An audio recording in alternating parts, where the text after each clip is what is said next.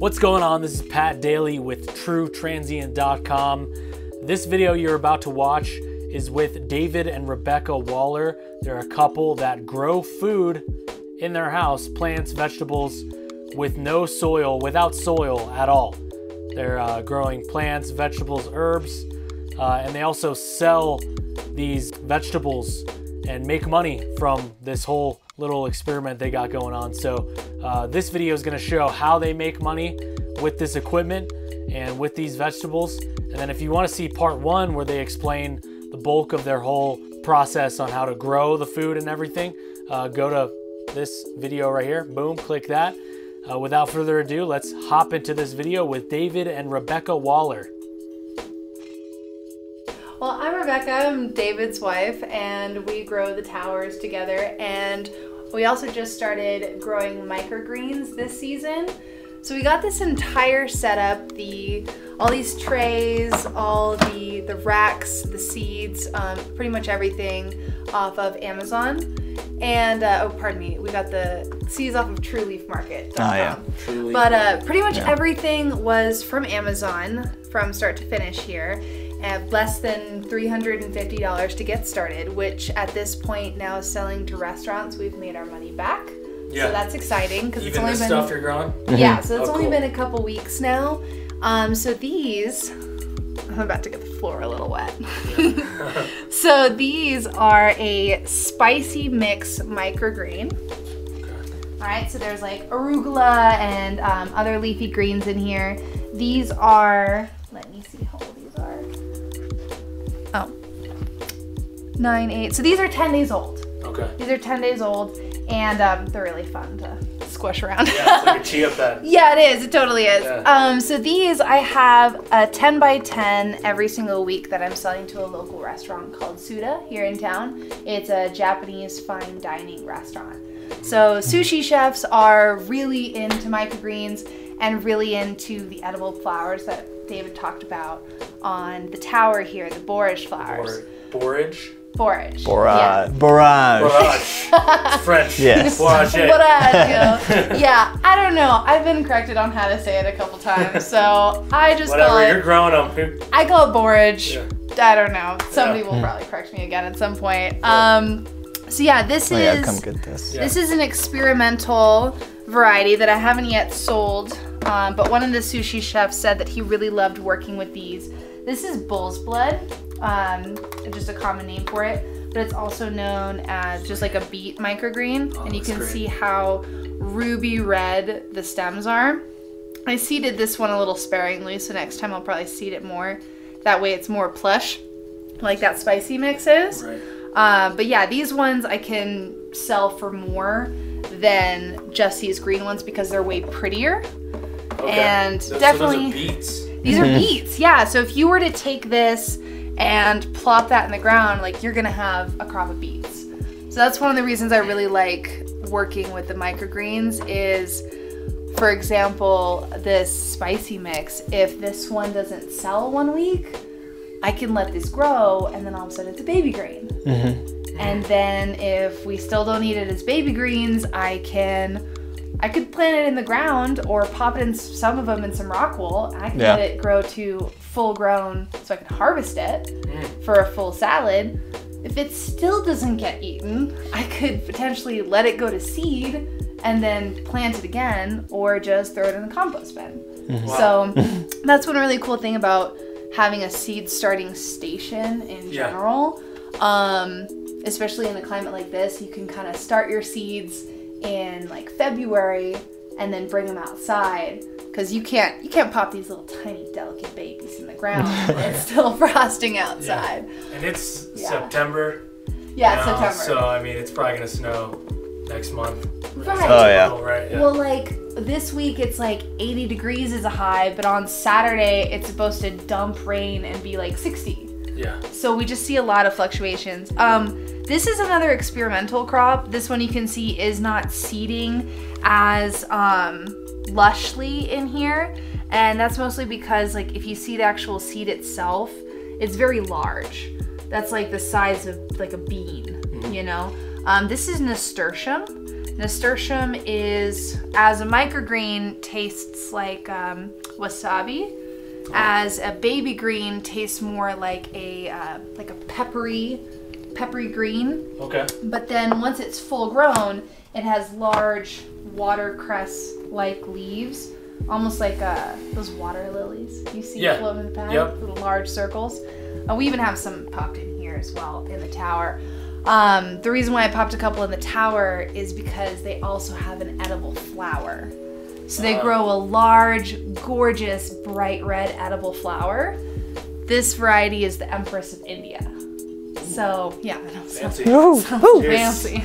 There's a couple different kinds of them, but I went with that one because I thought the edible flower was the prettiest. Yeah. Uh, but yeah, basically with the microgreens, um, this was definitely an investment where once I knew after talking with the um, one of the owners at the restaurant that I work at that he would buy these from me, that was when we decided to pull the trigger and invest in the setup.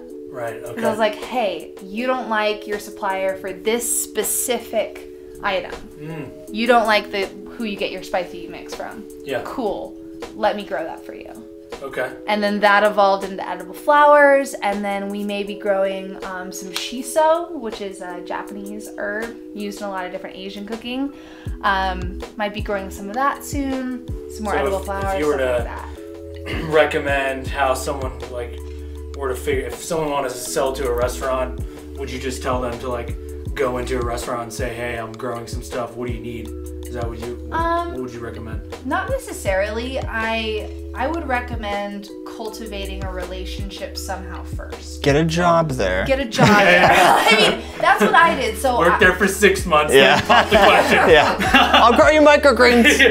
oh we don't need it yeah, darn it i'm done all that time I quit. wasted. um, yeah, I mean, the, the way that I went about it was I I did get the job there, and then it was already something that we had been talking about and researching for different markets before we moved here. And um, there is one other company in town called Vertical Harvest. They do a style of vertical growing which is hydroponic. Um, it's it's interesting. It's, di- it's definitely different than what we're doing, um, and they supply a lot of the microgreens in the area. Okay. So, but they're the only game in town. hey So wherever they are falling short is somewhere where someone like us can kind of come in and supplement. Yeah, if there, yeah, if there's already a market, then um, just seeing what they have and providing, just slightly um, switching stuff up to create a niche. Um, just her talking to them and being in relationship, she was able to ask on a regular basis like what would go well. Like these bigger companies aren't able to do that, you know, as fast or get personal because they're already doing a lot of volume. So you can definitely niche down and, you know, okay Yeah, and each like in fine dining, um, usually you'll have like one main chef, right? He's like your head chef. yeah um from what I've experienced in like the sushi world is like you have a much smaller kitchen space and you have like one to two sushi chefs working at a time. And everybody has their own preference as a chef. So it wasn't just the head chef that I needed to get approval for and like get interested in my product. It was each individual sushi chef that I wanted to get excited about. Look at these beautiful flowers. Look at the presentation that's possible here. Like try this different microgreen. Like see how it tastes for you. So then that way I'm ensuring that it's actually going out and getting used every day because like your head chef owner isn't in the restaurant every minute of every day. yeah and if it's not getting used they're not gonna buy from you Exactly. Exactly. If it's sitting in the refrigerator and it's not going out, Yeah. they're gonna be like, "Why do I need you?" okay So, but yeah, back to your question is for somebody who's looking to get into the market, um, I would go in and start dining at different places and looking at menus, saying, okay, like what's on this person's menu that I could realistically provide. And some of the first questions that I got asked when I was pitching this to the owner I was like, hey, here's some microgreens. Is like, how long can I depend on you? Right? Because a lot of people in this town are seasonal. So it's like, are you gonna Yeah. live here for three months and then Right. move? Mm-hmm. Or are you here to stay? So are you dependable? What your pricing structure is, right? So one of these 10 by 10s for this basic spicy mix, I'm I'm just charging eighteen dollars, mm-hmm. right? The more the money makers are the borage flowers, which actually 99 cents. I raised the hmm. price. So they're actually 99 cents a flower. It's Okay. Just under a dollar. Yeah. So, I mean, at 99 cents a flower, I sell 60 of these. I basically make 60 bucks. Okay. So, and how, if you were to say, if you don't mind sharing, how much per month you could make on you're making on the borage flower?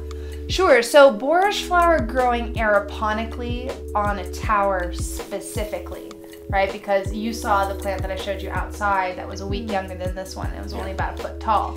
Um, this plant, I have one here and one on the other side, has been producing I mean, over 60 flowers a week. Like, I deliver to them on Tuesdays and Fridays. So anything that flowers in on Wednesdays, Thursdays, any other day of the week, that's either getting cut and just personal use or it's dying on the plant and then that pod is going to seed.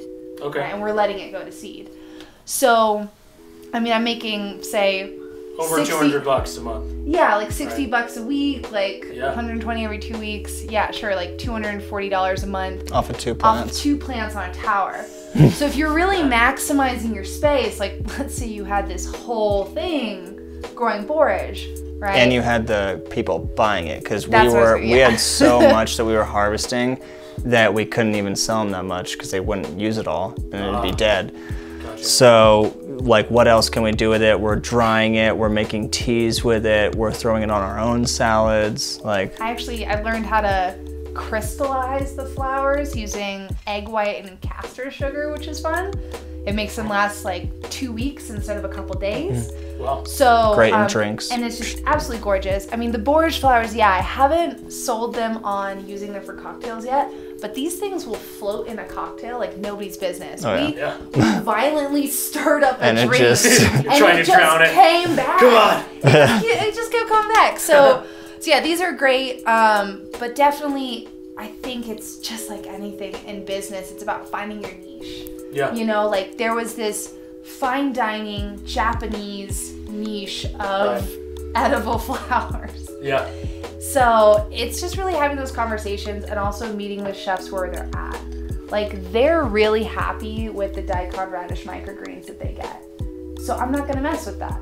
Yeah. They're don't happy even with don't even try to beat them on price or anything. Yeah, yeah, I'm not gonna try and. Yeah, like if, if you love what you have, cool, but tell me what you're unhappy about and what you would like to have fixed. Great. One of the main complaints was that their the spicy mix micros that they were getting were too big. Mm-hmm. So I was like, cool, well, let me give them to you a couple days sooner. So they're smaller. Okay. Easy Yeah. fix. It's just it's just super clutch to start with microgreens. Easiest, cheapest investment takes up the least amount of space. This was originally, like when you first saw it, it was behind our door in our bedroom Yeah. in a small nook. Yeah. So we kind of couldn't open the door all the way, but it was like, yeah, that's right. We're maximizing the space by food production. It's like where in your house in a corner can you think of it as like, oh, I got, you know, a steady income of $200 here, $200 there, you know, and just scaling. And then eventually you already have the system of sprouting stuff down. Then once you get a tower, now once it sprouts, you're just putting in the tower, letting it, you know, go. Now you have two storms, um, streams of income at different times, Right. weekly, and then you know if you're going leafy greens, then every month, you know. So Awesome. totally. Cool. Um, yeah, I think that covers it. So Great. sweet. Thank you guys. That's a Yeah, lot. Super epic. yeah. That's a wrap. Thank you to David and Rebekah for sharing this amazing knowledge on their aeroponically grown herbs and vegetables. No soil at all. Can you believe that? That's pretty crazy. That just blows my mind. So go ahead and give this a thumbs up, this video a thumbs up. That'll really help me out. Comment below if you have any questions, what you thought of the video, what you want to see me film next. I got some cool stuff coming up. And also subscribe if you want to get notified. Actually, you'll click the bell. Click the bell and subscribe if you want to get notified every time I post a video. And then I will just see. There's nothing left. I'll see you in the next video. This has been Pat Daley with TrueTransient.com coming at you from Jackson, Wyoming. Peace out. Thumbs up. See ya.